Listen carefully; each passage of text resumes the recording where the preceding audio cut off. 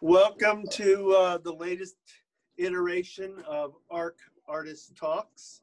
Uh, this is the uh, first uh, of the Artist Talks that we've actually done uh, in our Spotlight Gallery. So we have uh, converted the office at ARC into an additional gallery in addition to being, and it's still, still the office as well.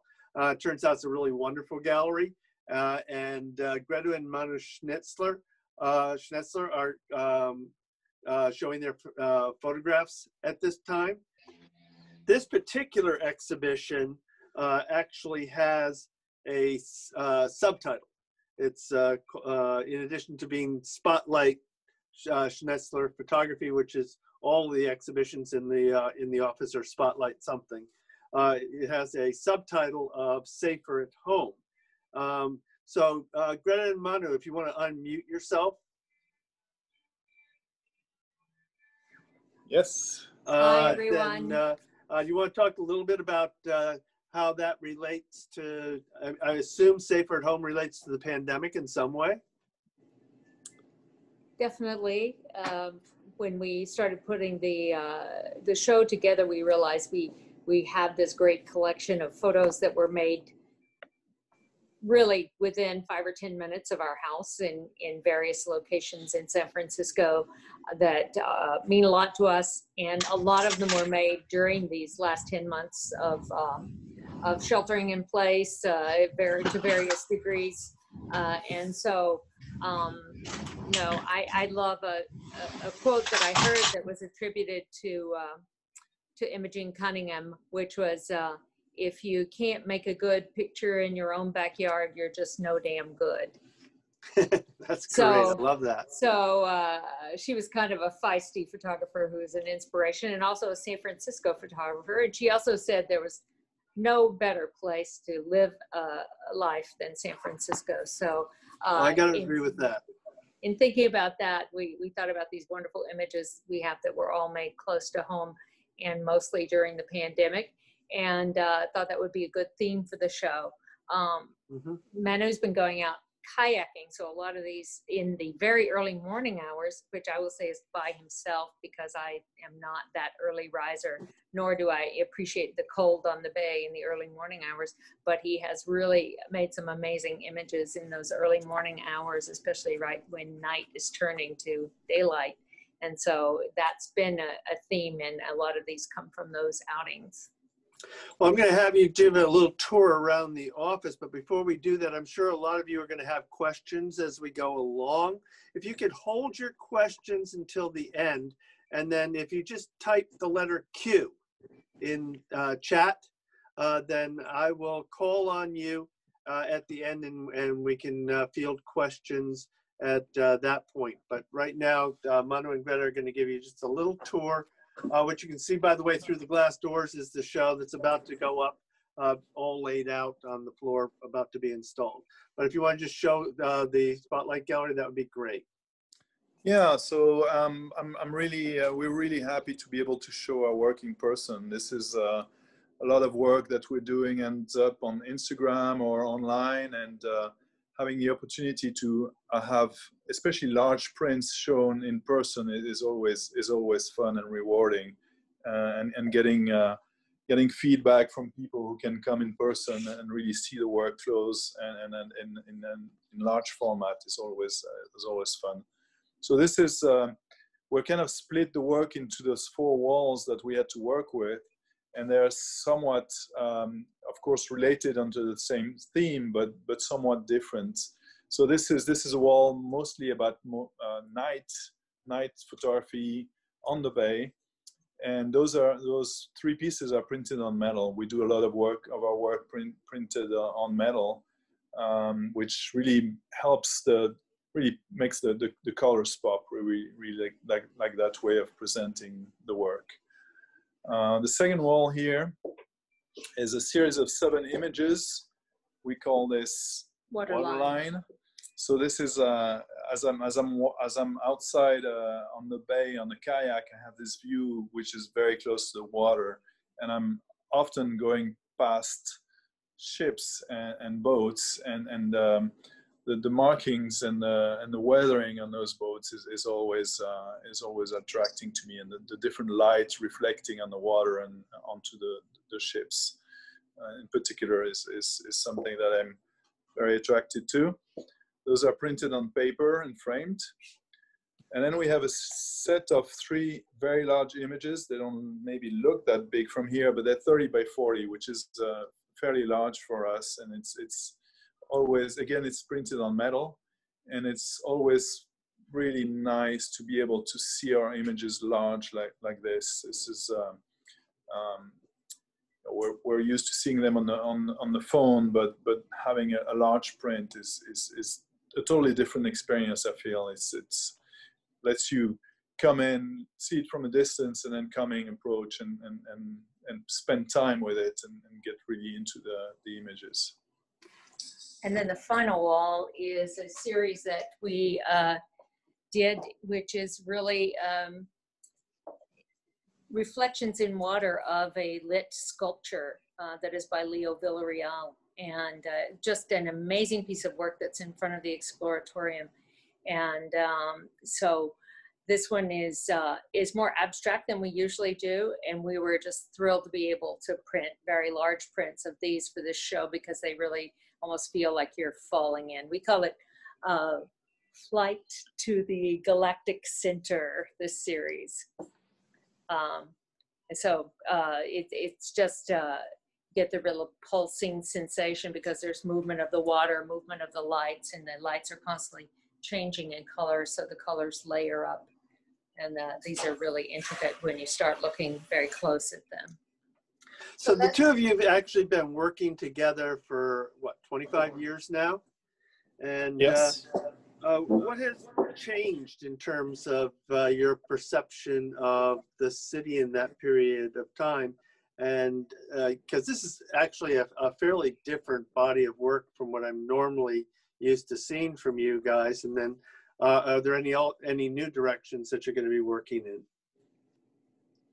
So I we we have been really shooting for a long time things that we think are not going to be around very much longer in the city. I mean, there's been such in that period, such an incredible amount of change, especially we live on Potrero Hill, so we've seen the entire Mission Bay and Dogpatch neighborhood spring up out of what used to be a very industrial area just just around us. Really the whole area all around the hill has changed so much. And so we would often spot something and, and say, oh, that's not going to be there much longer. We need to go photograph it and we were mostly photographing at night uh, and did a lot of really urban urban night photography. So we've we've seen all these changes coming and and tried to document some of that, but not in a documentary photography way, more in a fine art photography way, just to really capture the sense of place that we felt in those industrial areas as they were kind of vanishing before our eyes.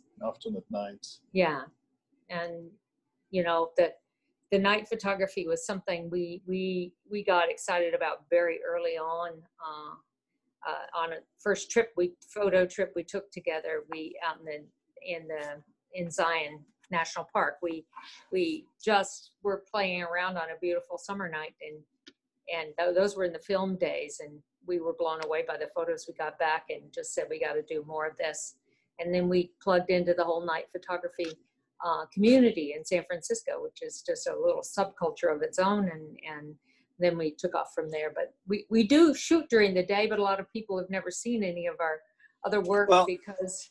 The work right behind you was yeah. shot uh, during the day. In fact, why don't we kick off and start talking about uh, some of the uh, the works that are in this particular show? Okay, sounds yeah. great.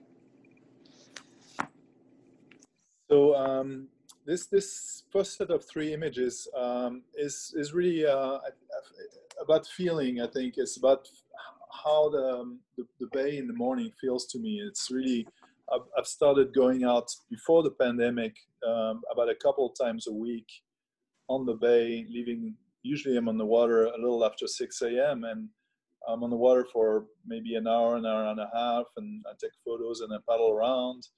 Uh, and then I, I'm, I'm back at home to to start my my work day. So um, this this really has has been um, uh, a lot about the, the feeling of the bay and how um, it's it's it's really um, a very quiet time for me, uh, especially so early in the morning before the, the city wakes up. Um, the, the, the, the, light changes rapidly and, and, uh, and I can see, I can feel that the, the, the, city starts to, to, to, to wake up. So that, that, that little uh, heron here, or that great heron actually, uh, kind of contributes to that, to that, to that feeling of um, calm here on, on this image. Uh, next one, please. Uh, again, here, this is um, down in uh, on by India Basin, which is one of the places uh, I like to go to, uh, right next to Heron Head, and it's again very very simple kind of composition, but it's it's it's really for me, it's really the, the, the, feeling of, of calmness and, and, and uh, the, the, the, city waking up slowly around me. So next, please. And, and this, um, this is really uh, a, a lot of the images I take, uh, because I'm so close to the water, I'm, I'm trying to, to balance what the, the water looks like and what the sky looks like. And, and some of, uh, a lot of, of the images end up being very graphic and, and, and almost abstract. Uh, I, I, love the movement of the water. And um, I, I, think every, every time I go out, it's a different, um, it's, it's different feel. It's a different weather. It's different time as you know in, in the winter i go out it's totally dark and then the the sun rises and, and, and in the summer i typically will, will go out and it's already daylight. But there's always uh, there's always that element of the, the balancing of the sky and the, and the water and the waves in the water. Next please. Okay the next series.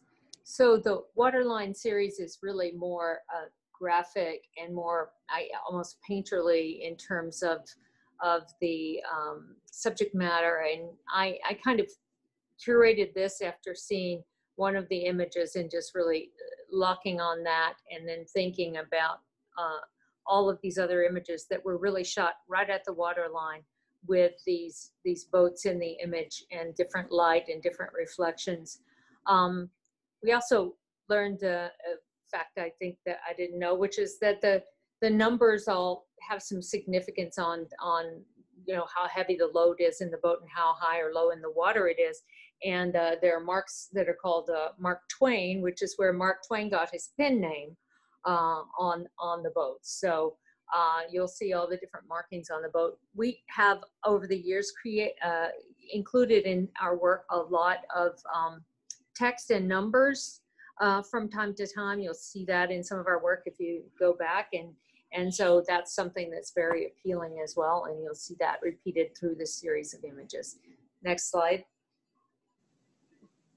So I think this was one of the very first ones that kind of caught uh, caught my attention when we were putting the show together um, because of the unique lighting and that kind of um, night photography feel here. This is kind of right at daybreak.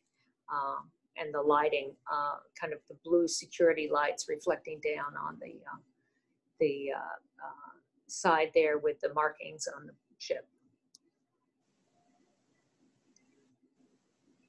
And this one obviously is just really looks like a painting with the reflections and the the blurring of the water and the re water reflecting back on the on the metal of the ship.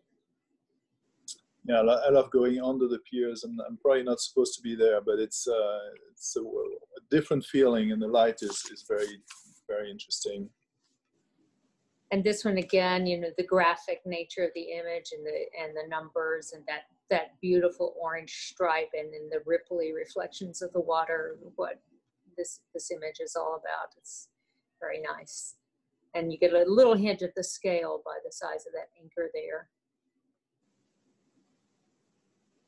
This is a boat that's in the Maritime Museum down in uh, uh, the uh, National Maritime Museum down near Aquatic Park. And it's an old um, uh, steamer that was uh, used in the Delta, Sacramento Delta to San Francisco route, hauling supplies and things. Uh, again, with the numbers and the weathering and the beautiful colors that are then reflected in the water. I like that you can see a little bit of the pier back there and the uh, the early morning light behind the boat. Eureka. The Eureka is the name of the boat. Again, just a, amazing weathering on the boat and the colors and the, the patterns uh, paired with the, the blue, that blue hour light uh, on the bay behind. We've taken we've taken photos like this before of paint rusting and different layering of paint on cars in particular. I think that's something that that's always attracted us. I, I love this one because I think those cryptic larger marks to the right, which may be the Mark Twain. I, I don't know enough about ships to know, but uh, I really loved it. It almost looked like Cyrillic lettering or something, and uh, and, um, and and the colors are just so dramatic here. Um, it's uh, nice.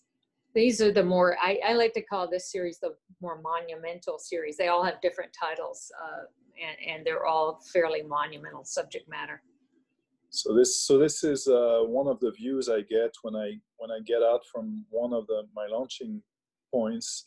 Uh, there's a long stretch before I get out really into the bay, and then there's this big ship on the left appears with always that um, the, the bay bridge in the background. Uh, and sometimes there's seals that are kind of lounge on, on that tip there of, of, of the big ship. Um, so next one. This is uh, again what you're gonna tell. This is a, what, uh, a illuminated artwork that's part of uh, Illuminate SF, uh, which is a group that does lit artworks in, in San Francisco. This is Bay uh, Bayview Rising by uh, Laura Dugan and Laura Dugan and Todd, no, Todd Dugan and Laura Haddad. Sorry.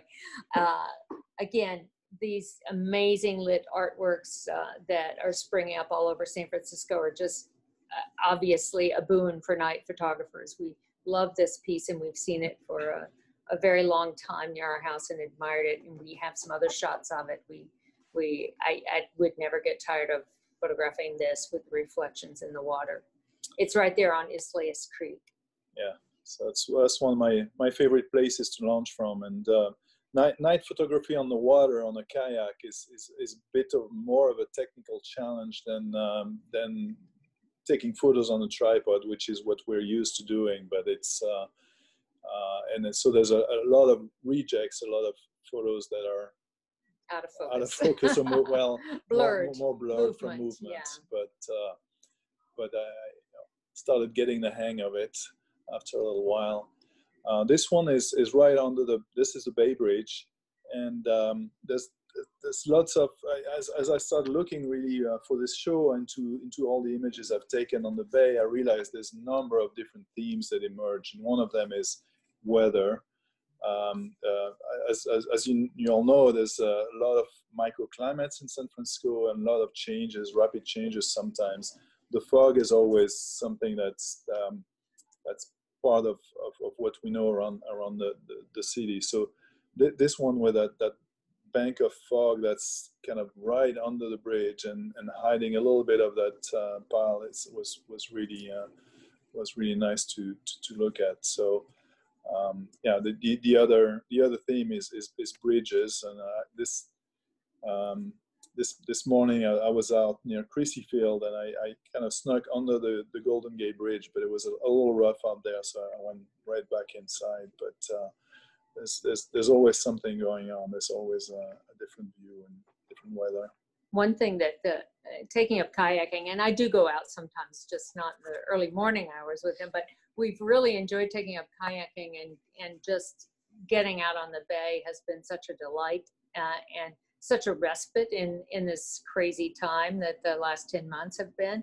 Uh, it, it, it's just fabulous. We have this incredible resource uh, uh, here. So we, we recently got a, a stand-up paddleboard too. So we're, we're looking forward to getting uh, into that a, a bit more. And we connected with some paddlers that go out of the new Crane Cove Park in Dog Patch. So we've done a few paddles with them and it's, it's been a lot of fun. So just encourage people, get out there and explore the bay. Yeah. And so uh, one thing that I found really interesting is as I was, I've been posting pretty much every day on Instagram and and getting followers and, and realizing there's a, a lot of micro, little micro groups that uh, are interested in different things. One one being just the, the kayakers on the bay, but the other one, as I started taking photos of, of, big ships and in the bay in particular, there's a whole subculture of, of ship spotting people who are very excited to tell each other that there's new ship coming in today and uh, they're bringing new cranes for the port of Oakland and, and, and then you'll see people going out taking photos on the bay or from the shore or on, uh, using a drone and it's it's it's kind of fun to to get plugged into different different subcultures like that And I'll have to say, if, if any of you know uh, Mike Mike Kimball's printmaking, uh, and he's shown at Arc Gallery before as well, um, a lot of the um, photos um,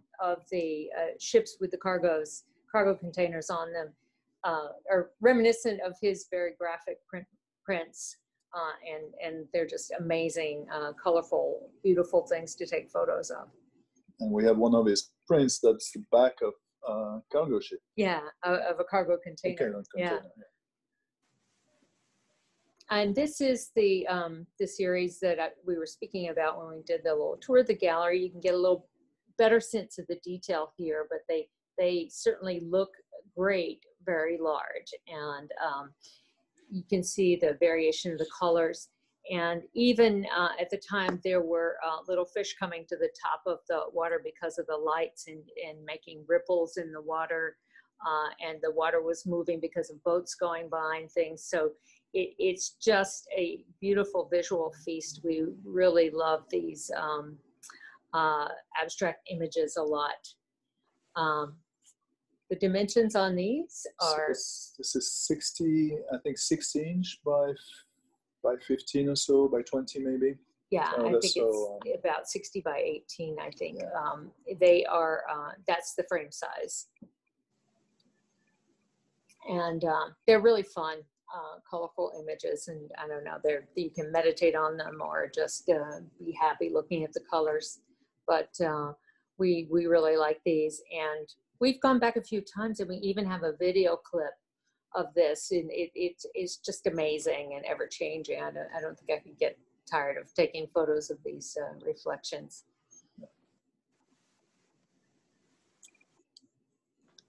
So that's the show. We have a few other smaller pieces available in the gallery, uh, including some small pieces uh, printed on acrylic of the of the abstract ones like this that are on acrylic blocks and back mounted. And we have some um, photos of another local icon, the Sutro Tower, which is also another thing we love to take photos of, including a photo of the Sutro Tower with the glowing pink uh, triangle that we had uh, this year uh, for Pride, uh, which we were so happy to see. We were wondering if, of course, Pride was all virtual, if we were going to have the triangle or not.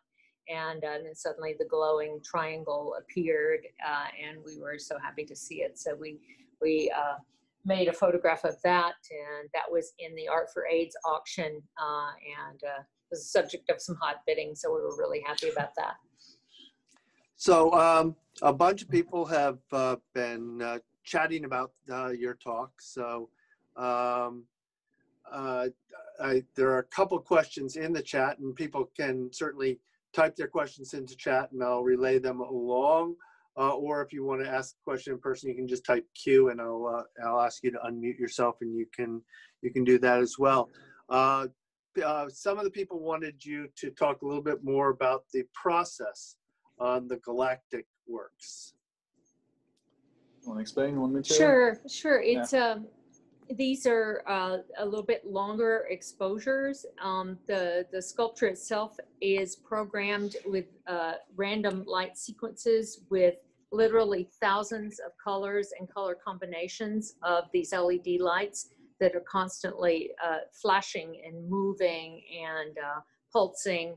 And um, so this is looking down into the water. Um, they they actually cut a hole in the pier so you see the water underneath the sculpture. It's all open, and so the camera's pointing directly down uh, and capturing the reflection as the light changes, as the water moves uh, over about 30 seconds or so.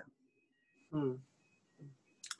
Yeah, and uh, some uh, uh, some others uh, were wondering about the dimensions. Now I know that the dimensions are a little bit sort of flexible, uh, yeah, in that uh, you can print the works in various sizes. I, I I don't know if you edition in various sizes. Um, could you talk a little bit about that? Yeah, we, we do uh, edition in different sizes. Where so the, the smallest pieces that we have in the show are, are 16 by well, so the, the, the metal prints are 16 by 24. Um, but we we've been printing. We, we like to print large if we can, um, and so the, the 30 by 40 are kind of the, the, the biggest some of the biggest we've we've we've printed, but we we certainly have a lot of flexibility on the in the size. So some of the Um, smaller pieces, uh, like the uh, the uh, the uh, waterline pieces, uh, those could be much larger, I assume. It could be Yes, certainly. and could be printed on uh, on metal. Yeah. Um, we we have a really nice printer at home, and and we have discovered some really nice papers that we love to print with. So we do like to print on paper too, and those those turned out really uh, nicely with the uh, with paper prints. But they could be on metal, and they could be printed quite quite a bit larger as well. Could you talk a little bit uh, about how you work collaboratively? Now, I'm, I'm somewhat familiar with some of the work you've done in the not as, as part of Studio Nocturne, where you sort of paint with light, um, and it's kind of a two-person job. It's uh, but what about um, these pieces, or just in general, how do you work together? Well, a lot of these are meant as solo kayaking trips, so there's not a lot of collaboration in the actual uh, capture of the image. But of course, uh, photographers know the capture of the image is just the first step, and then there's the making of the images and the the thinking about the images and getting the colors right and the the curating of the show when you start to put uh, to put a show together. And so we're all involved. We're, we're both involved in all of that, even uh, if one of us has done the, the capture separately. Um, when we're shooting together and when we're night shooting, sometimes we'll each have a camera and we'll be shooting uh, the same subject matter with two different lenses or, or setups on, on our digital cameras. Sometimes uh, we used to have one film camera going and one digital camera going, but now we're we're pretty much solely digital, except for some antique cameras that we take out from time to time. But uh, we talk about, especially when we're doing a project, and Michael, you re- may remember the Sunset uh, series we did for Foursquared. That was a more lengthy project, and we talked about the project and how we wanted to execute on it. And then we went out and looked for subject matter together and planned the project and went out on a series of nights and, and shot together and then we curated together and and and prepared the prints for the show. And that that may be a project that we go back to again and do some more sunset uh, photos. We really like that neighborhood and and have discovered a lot of subject matter we'd like to shoot out there. But that's you know kind of thinking about our work as a project and going back and curating. One thing during the pandemic i think we had a little more time to start going back and looking at uh, some of our older images and thinking about themes that run through a lot of our work and and that's been really fun too Well. Jason Berkman. I noticed that Jason Berkman was making an observation and asked if you had seen the octopus uh, documentary. Um, yes I, I, yeah, I've seen it as well, but Yeah. uh, he was he was looking at uh, kind of from the perspective of what you were just talking about, Greta, which is seeing things change over time and then revisiting things that have changed over time. Is that part of your work where you uh, kind of will go back to subjects and and and photograph them again at, uh, at you know over a period of time? Yeah, we do sometimes. I think um, some of the night work we've done. We've we've gone back and uh, one one one piece in particular where we took photos of that uh, uh, old um, gas station at night in the in, in the Dogpatch that's not all gone. But we went back because there was graffiti on the back that was changing constantly. There's always the the interesting to come back, and I, I think you know being on the bay and being seeing seeing kind of the same places very regularly, I, I, I tend to see it with a different eye every time and, and, and reinterpret it in a way. And the same thing, I think, when we we're the Sutro Tower uh, is a frequent subject in our, our photos because we have a view out our window of it and we see the various, uh, you know, the microclimates, the fog coming in, the the sunsets, the morning light, and just the ever changing. Uh, uh, even lightning once in a while. Uh, so it's it's just those kinds of subject matter. There's certain things you just never get tired of shooting and and going back to, and then we find that even if we think we know San Francisco, but we stumble on some little pocket of San Francisco that we get really excited about the Uh, the subject matter, the visual subject matter, and and just have to go back and keep keep shooting Yeah. We've been Yeah. asking ourselves sometimes, like, how do you know when a project is done? You know, I think it's not until you kind of find nothing else to to shoot. Yeah, I think I think also going on the bay and photographing from the bay is, is has giving me a, a new a new angle, a new a new understanding of the city and a- and a, a new love of it too. Just a different way of looking at it and understanding it. Yeah, one of the people was asking what attracted you to print on metal, finding it somewhat fascinating that the subject matter, at least in, in some of this work, is ships and the you know the metallic nature of the ships, and then also uh, uh, taking those images and printing them on metal. I'm not sure if there's any relationship there, uh, but what attracted you to uh, to print on metal? Yeah, we've we've been uh, we've been having that. Uh, we, well, we don't print it ourselves, but we have a lab that does it, and we've we've been working with them for probably 15 or 20 years. We started printing on metal a lot of our, our night photography work, especially the very colorful work. And I personally, I, I really like when um, when this is it's just the image that's on the wall. It's a little bit raised from the wall, and that gives it a bit of a, of a three-dimensional effect. But really, it's um, the, the, the metal makes the, the color pop really. Uh, and- and when, when it's very colorful, it really brings just just uh, that color uh, to the forefront, and also just having the image with no no frame, no glass on top of it, really, it's just about the image. It's not about anything else, and I, I really like that personally. I think one of the first ship images that we printed on metal, we just were blown away because it looked like it was illuminated from Hmm. from within. It, it looked golden, and it was it was really it was one of the uh, ships uh, over uh, on Alameda Island that are in a state of readiness, uh, and uh, they're just battleship gray. But with the light on it at night and then printing it on metal, it looked like gold. Yeah, uh, you know, your work has a real quiet quality to it. I mean, even you know the night photography uh, things that you've done, uh, you know, and, and that gas station, which you know has this um, almost an ominous quietness to it. Uh, but uh, with the works on the bay, do you always shoot in serene weather?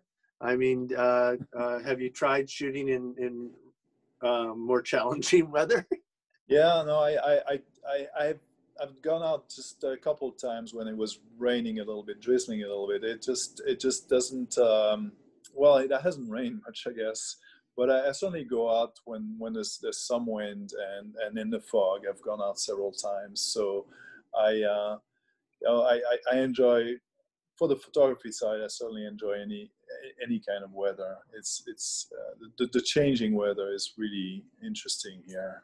The Uh, rougher the water, the harder it is to get sharp photos, though. I would think so. Yeah, yeah. though. Do you ever shoot people, or is it almost entirely structures and landscapes? we ha- are kind of shy about taking photos of people uh, and uh, you know good good portraits are, are really hard and um, so uh, we have not done that many photos of people um, and uh, you know please for goodness sake don't ask us to shoot a wedding uh, and um, yeah we learned that lesson really early. Uh, and uh, you know we we talk about wanting to uh, shoot and i remember Ann Jastrab was was doing a portfolio review very early on uh, after we started taking photos. She was doing a portfolio review for us and uh, and she's like oh maybe you should put some people in there. And uh, we've just kind of never really been able to do it. We're more Well, you did put a crane in one of your photos this time. so uh, yeah, and we like that quiet quality. It's one of the things about shooting photos at night when there is no one around that is just serene and magical. So we, we love getting out there when there is no one around. Yeah. I think that one of the things that people were talking, uh, at least one person asked about was, you know, you talk how important the community is to you, and you know, particularly the community that you know you've helped you discover the Bay, uh, and they were just wondering if you had ever thought about community uh, incorporating that community into your work, but uh, but then somebody else pointed out your work doesn't need any people. There are plenty of people who take wonderful photos of people. So Yeah, we yeah. may leave that to them. I don't know. Yeah. How close do you get to those ships when you're out on the bay? Closer than I should probably. Um, you know, some some of them I, I I can I could touch them. I'm, I'm right next to them. Um, I mean, so I, I wouldn't do that to to ship that are moving clearly, but uh, you know, especially the ones that are anchored, and I know they're not gonna they're not gonna move uh, anytime soon. Uh, I, I get I get fairly close. It's uh, it's I, I've started taking photos of, of container ships as well, and and it's just um, being next to those giants is is just so impressive, and and and just makes you feel small, but it's uh, it's I. I will say, you know, marine radio, uh, and he follows the ship schedule, so he kind of knows when boats are going to be moving or not. So, um, you know, it, it's and and you're you're coming from pretty far away, so you you have a good sense of Yeah. of them. They don't move quickly, and you pretty much yeah, when the tugboats start moving, and you, I start Yeah. following them, seeing Yeah. where, which which ship they're going to, and which ship is going to start moving soon. But uh, Yeah. you, get- you get a, a lot of uh, a lot of time to prepare on the bay. It's it's it's pretty big, and you can see the ships from a distance. Well, I want to thank everybody for being so interactive on this chat. This has been, uh, you know, a really fun um, artist talk. Um, thank you all very, very much for uh, uh, for showing up. It's uh, been a great group. Really appreciate it. Thanks. I Thank wish we could have talked personally with everyone, but I, I great to see so many friends' names popping up on the chat.